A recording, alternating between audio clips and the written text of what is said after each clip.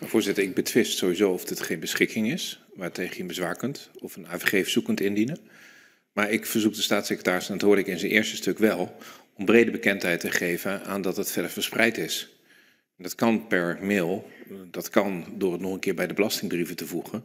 Dat kan door daar een campagne of iets op de website van de Belastingdienst op te zetten. Maar tot mijn grote spijt volgt niet, volgen niet 17 miljoen mensen dit Kamerdebat vanavond. Ook.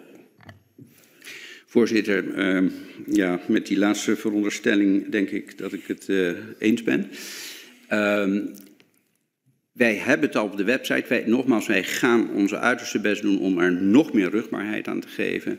We blijven, voorzitter, en dat kan, met elkaar van mening verschillen dat het uh, geen beschikking is in de zin van de Algemene Wet uh, Bestuursrecht. Uh, ik ga niet alle 270.000, maar ik ga echt alles en alles in het werk stellen om hier rugbaarheid aan te geven. Dan mag ik nu controleren dat de heer Omtzigt het eens is met de interpretatie die de staatssecretaris geeft? Want anders gaat hij een ander oordeel geven. Ja, maar ik uh, verwacht heel veel van dat alles ja. in het werk stellen. Nou, dat, dat, uh, dat, ik heb hoge ja. verwachtingen van de staatssecretaris. Dus, nou, dan blijft het oordeelkamer op motie 3 en gaan we naar de laatste motie.